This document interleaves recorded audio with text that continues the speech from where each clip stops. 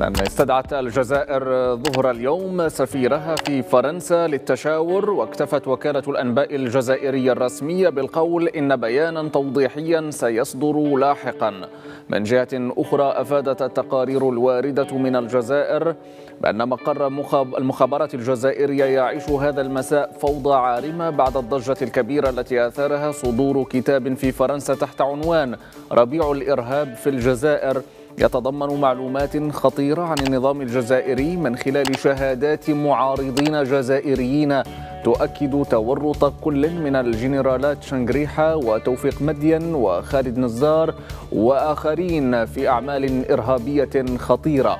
وذكرت هذه التقارير أن وفدا أمنيا بقيادة الجنرال قايدي مدير المخابرات العسكرية والجنرال مجاهد المستشار الأمني للرئيس الجزائري يحاول التفاوض مع السلطات الفرنسية من أجل سحب هذا الكتاب من الأسواق.